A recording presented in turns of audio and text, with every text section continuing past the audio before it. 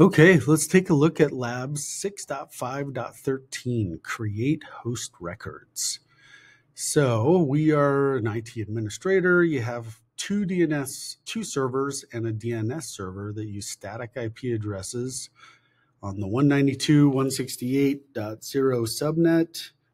You plan to install three more servers soon, so you need to create DNS records for these servers on the Corp DC server.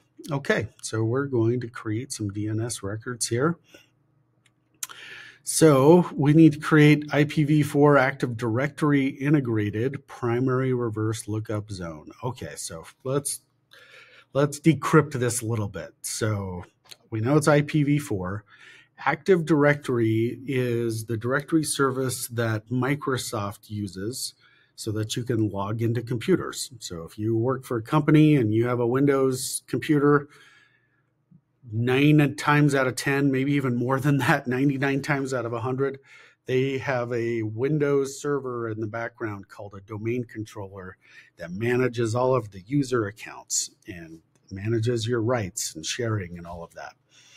So we're using that for DNS, and Active Directory actually requires DNS in order for it to work properly. So we need to create what's called a reverse lookup zone. That's going to, a reverse lookup is going to take the IP address and map it to a name. The forward lookup zone takes a name and maps it to an IP address. So let's get into our DNS server. So I'm going to go into the Hyper-V Manager, go to Corp Server, and we are running on, let's make sure we grab the right server. So we just have the three servers, and so it's going to be running on the Corp DC. You'll see that a lot where DC for domain controller. That's what that means. And usually DNS is running on the domain controller. It doesn't have to, but if you're in a small network, you're going to combine services. If you're in a big company, you'll probably break it out. So I'm going to go Tools, and I'm going to go down to DNS. And now we can see our DNS server that's running on Corp DC. And we have forward lookup zones and reverse lookup zones. So let's look at our forward lookup zones.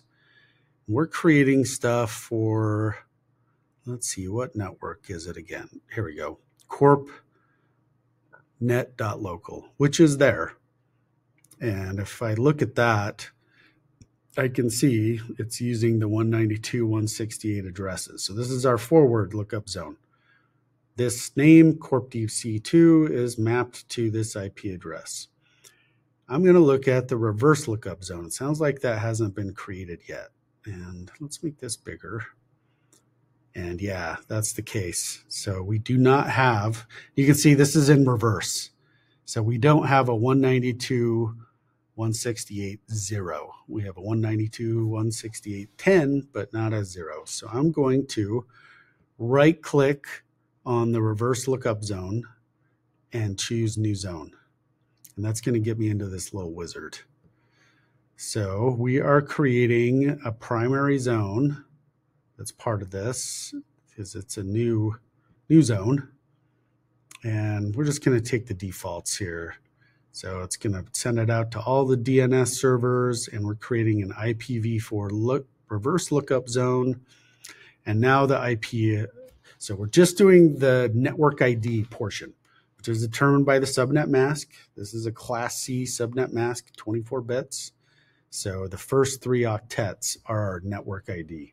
So 192.168.0 you notice that it is reversing that because it's a reverse lookup zone. So it's reversing that, but just type it in here. Then you have to type all that in. It does it for you.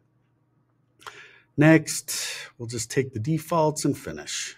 Okay, so now we have the reverse lookup zone.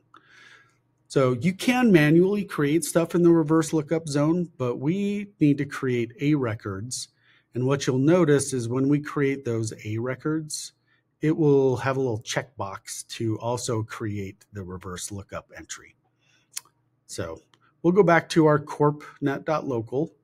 That's what we're doing here. And we need to create some new records.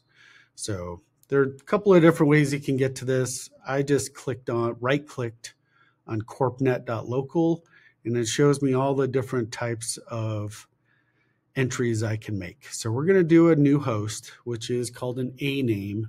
And that is the main name.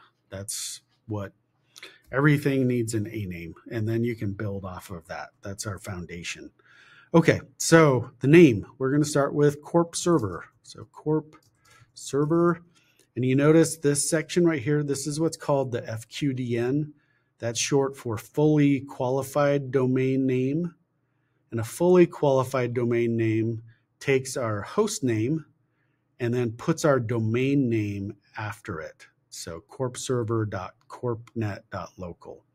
That's our FQDN. Okay, IP address is 192.168.0.10. And I'm going to check this box to create the reverse lookup record. That PTR, the pointer is referring to the reverse lookup. So if I hit add host and hit OK, it will have created that. Let's add them all, then we can take a peek and see this. So we're going to go corp files 16, put in the IP address 0.12, and create the pointer record. Um, what gave me that weird error? Let's look here. Is this not created? Did I type it in wrong maybe? Probably typed it in wrong, like a dingus. But anyway, we'll keep going. Let's make sure I do this right this time. I probably got in too big of a hurry. So corp files 12 192 oh i probably did 198 192.168.0.13 let's do the pointer now there we go. So I obviously typed in the IP address wrong. So corp DHCP, it's going to be 192.168.0.14. And last but not least is corp web.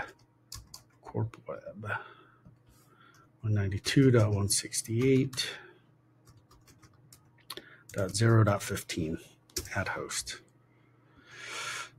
Okay, so let's look in let's look in our corp net local. Let's see which one did I mess up on? The 16. Yeah. See how I did 198. So I'm going to fix that. I double clicked on it. I'm going to change this to 192 168. So if I hit apply and okay, now we should be good. 192, 168. If we look at the reverse look, lookup zone, I have everything in there.